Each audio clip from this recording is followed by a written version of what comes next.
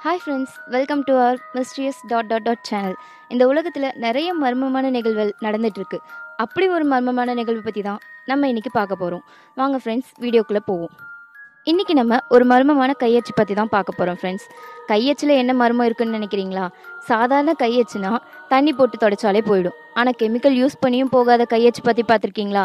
அப்படி ஒரு கையச்சு பற்றி தான் நம்ம பார்க்க போகிறோம் ஃப்ரெண்ட்ஸ் இப்போ நம்ம பார்க்க போகிற நிகழ்வு சிகாகோவில் நைன்டீன் டுவெண்ட்டி ஃபோர் அதாவது ஆயிரத்தி தொள்ளாயிரத்தி இருபத்தி நாலில் நடந்தது.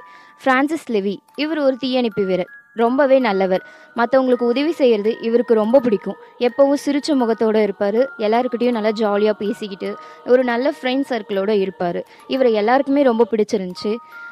அப்படி இருக்கிறவர் திடீர்னு ஒரு நாள் அதாவது ஏப்ரல் பதினெட்டு ஆயிரத்தி தொள்ளாயிரத்தி இருபத்தி நாலு. அன்னைக்கு அவர் நடவடிக்கைகளில் ஒரு சில மாற்றத்தை அவர் நண்பர்கள் உணர்றாங்க.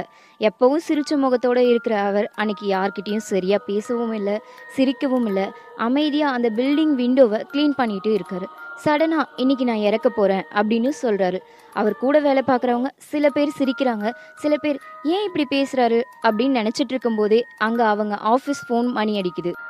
லீவஸோட நண்பர் ஒருத்தர் அந்த ஃபோனை அட்டன் பண்ணுறாரு ஃபோனில் பஸ் கண்டக்டர் ஒருத்தர் அவங்க இருக்கிற இடத்துல இருந்து கொஞ்ச தூரத்தில் கரன்ஸ் ஹால் பில்டிங்கில் தீப்பிடிச்சதுன்னு சொல்கிறாரு உடனே லிவிஸும் அவர் நண்பர்களும் வேகமாக அந்த இடத்துக்கு போய் சேர்றாங்க. பல மக்கள் அந்த பில்டிங்கில் மாட்டிகிட்டு இருக்காங்க. லிவிஸும் அவர் நண்பர்களும் தீவிரமாக முயற்சி செஞ்சு மக்களை காப்பாற்றிட்டு இருந்தாங்க. ஆனால் திடீர்னு நெருப்பு மேல் பில்டிங்லேருந்து கீழ் பில்டிங்க்கு பரவ ஆரம்பிக்குது. நெருப்பு வேகமாக பரவி சடனாக அங்கே ஒரு வெடி விபத்து ஏற்படுது. அந்த அதிர்வு காரணமாக மேல் பில்டிங் அப்படியே சரிஞ்சு கீழே இறங்குது. இதில் பல மக்கள் இறக்க நேரிடுது. அந்த கூட்டத்தில் ஃப்ரான்சிஸ் லீவிலும் ஒருத்தராக இருக்காரு. அவர் காலையில் சொன்ன மாதிரியே அவர் அன்னைக்கு இறந்துடுறாரு. அடுத்த நாள் ஃப்ரான்சிஸ் நண்பர்கள் அவர் நினைவோட ஆஃபீஸில் வேலை பார்த்துட்டு இருக்காங்க. அப்போ ஃப்ரான்சிஸ் நண்பர் ஒருத்தர் அதற்கு முன்னாடி நாள் நடந்த நிகழ்வை பற்றி யோசிச்சுக்கிட்டே ஜன்னலை தொடச்சிக்கிட்டே இருந்தார். அப்போ தான் அவர் அந்த கையச்சை பார்த்தாரு. அதுவும் அது வேற எங்கேயும் இல்லை ஃப்ரெண்ட்ஸ் முன்னாடி நாள் ஃப்ரான்சிஸ் க்ளீன் பண்ண அதே கண்ணாடி ஜன்னலில். அந்த கையச்சை பார்த்ததும் அவர் அதை எவ்வளவோ தொடச்சும். அந்த கையச்சை அழியவே இல்லை. அவங்களும் எவ்வளவோ விண்டோ கிளீனர்ஸ் கெமிக்கல்ஸ் ஆசிட்ஸ் எல்லாமே யூஸ் பண்ணி பார்த்துட்டாங்க.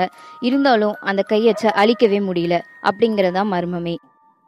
இந்த கையச்சு மர்மம் கடைசியாக ஒரு சின்ன பேப்பர் போகிற பையனால் முடிவுக்கு வந்தது. ஆமாம் ஃப்ரெண்ட்ஸ் எவ்வளவோ முயற்சி பண்ணியும் அழிக்க முடியாத அந்த கையச்சு கடைசியாக ஒரு பேப்பர் பட்டு அந்த ஜன்னல் உடஞ்சதுக்கு அப்புறம் முடிவுக்கு வந்தது.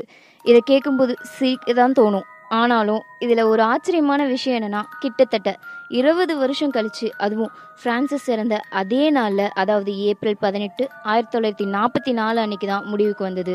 இது சாதாரணமான நடந்த கோயின்சிடென்ஸா இல்லை எல்லாரும் நினைக்கிற மாதிரி மர்மமா? நீங்கள் என்ன நினைக்கிறீங்க ஃப்ரெண்ட்ஸ் நார்மலாக இருந்த ஃப்ரான்சிஸ்க்கு திடீர்னு ஏன் அந்த மாதிரி தோணணும்?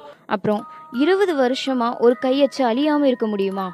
ஃப்ரெண்ட்ஸ் இதை பற்றி நீங்கள் என்ன நினைக்கிறீங்கன்னு கீழே கமெண்ட் பாக்ஸில் கமெண்ட் பண்ணுங்கள் இந்த வீடியோ உங்களுக்கு பிடிச்சிருந்தா லைக் பண்ணுங்கள் உங்கள் ஃப்ரெண்ட்ஸோடு ஷேர் பண்ணுங்கள் அண்ட் மறக்காமல் நம்ம சேனலை சப்ஸ்கிரைப் பண்ணுங்கள் பக்கத்தில் இருக்க பெல் பட்டனை கிளிக் பண்ணுங்கள் அப்போ தான் நம்ம சேனலோட அப்டேட்ஸ் உங்களுக்கு உடனுக்குடனே கிடைக்கும். தேங்க்யூ ஃப்ரெண்ட்ஸ் மறுபடியும் உங்களை இன்னொரு மர்மமான நிகழ்வோட நெக்ஸ்ட் வீடியோவில் பார்க்குறேன்